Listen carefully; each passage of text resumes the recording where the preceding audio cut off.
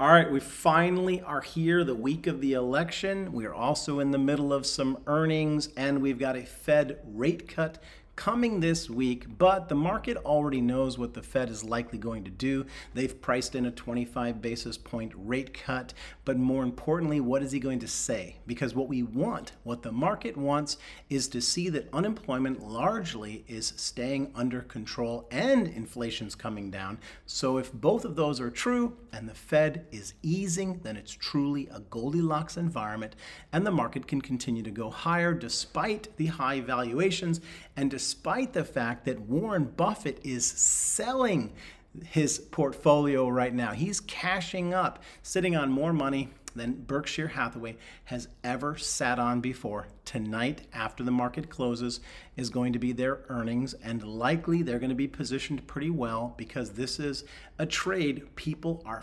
moving risk off because of how high the markets have climbed in 2023 and 2024 and they trust the oracle of omaha and so the stock prices continue to climb. We're going to see what happens with their price today. In addition to that we've got palantir. Now before i get into palantir i want to briefly give you guys some inspiration for why we mess with wall street why do we mess with wall street why do we fight these markets and come every single day trying to figure out uh, what's the best company to invest in? Well, I'm going to tell you a little story about NVIDIA, which happened to surpass Apple again for the highest market share company in the world. And the story is that if you had bought NVIDIA back in 1999, if you had scraped together a mere $1,000 and bought NVIDIA stock, a little chip maker, a little tech company, you would be a millionaire today. You would have $2.4 million.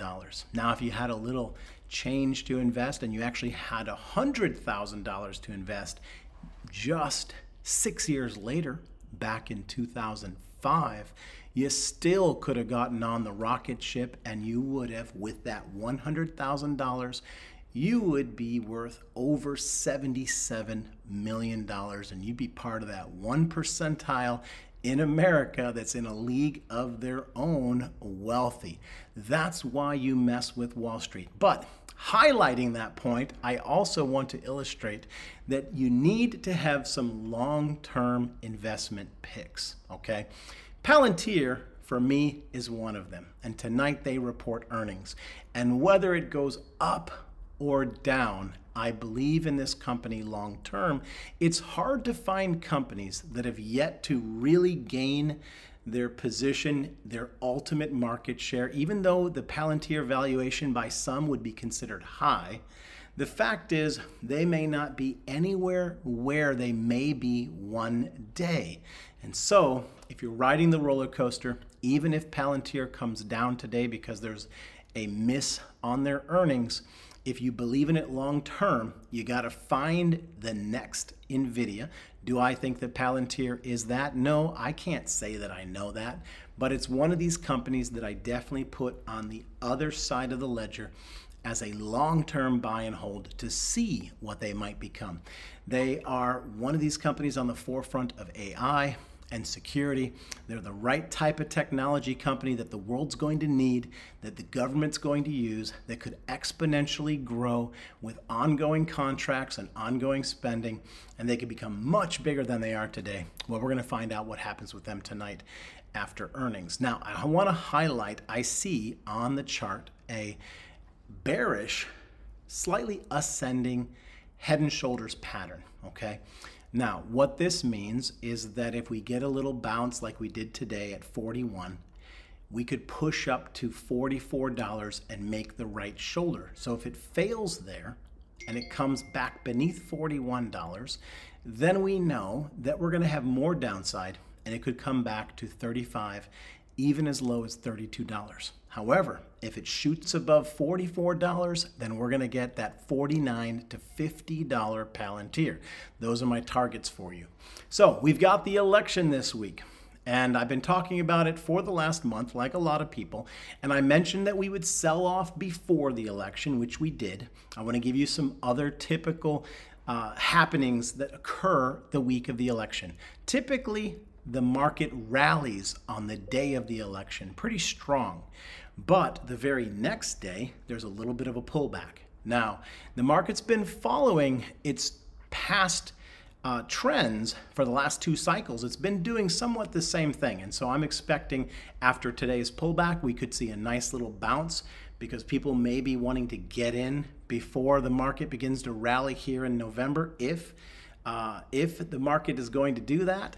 And typically, whether you get a Republican or a Democrat, I know it's going to bust some people's bubble, but once the the uncertainty of the election is behind the market, the market tends to rally. And so it does not matter what side you're on, if you are invested in Wall Street, once we're past this election, there's room for these markets to go higher. It doesn't mean that that's exactly what's going to happen. It's just what's typically happened the majority of the time.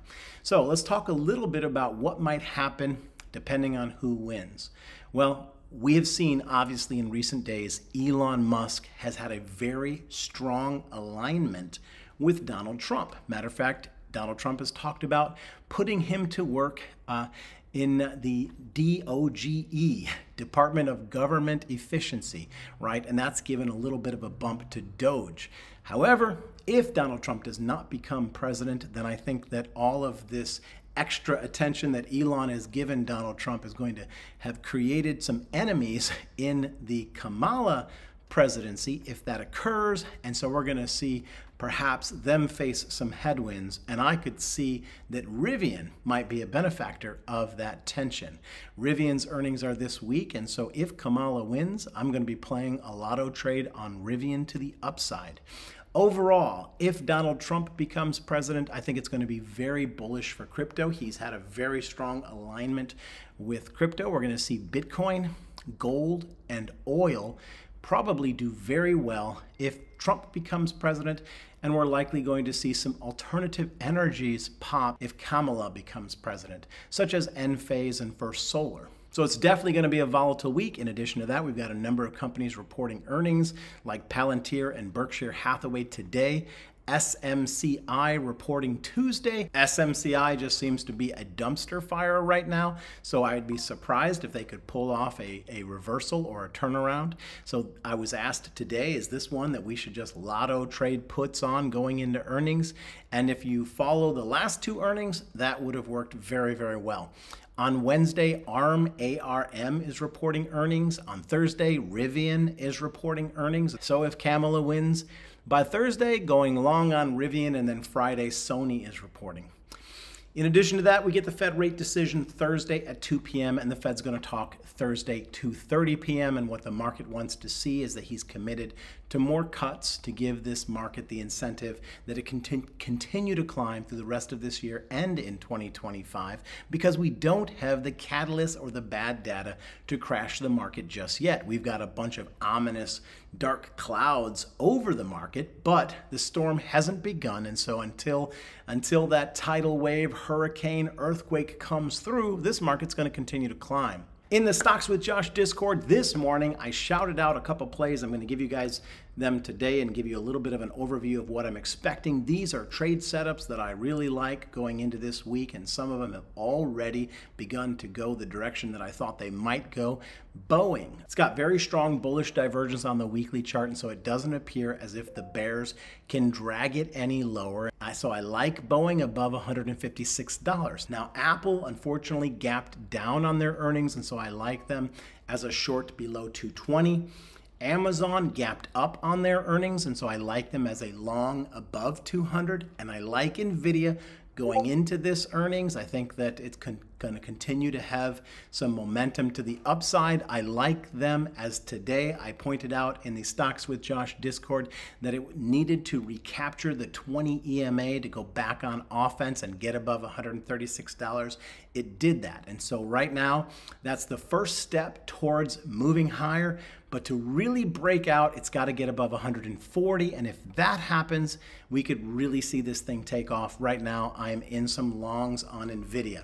So that's the breakdown for the week. If you want more technicals and you want more trade setups, you can find me in the Stocks with Josh Discord, the Chart Goat University. I'm going to be doing live trading Wednesdays and Fridays. I'm going to be doing some charting this week as well for the community. Come check it out. Hit the like and subscribe, and we'll see you guys in tomorrow's video.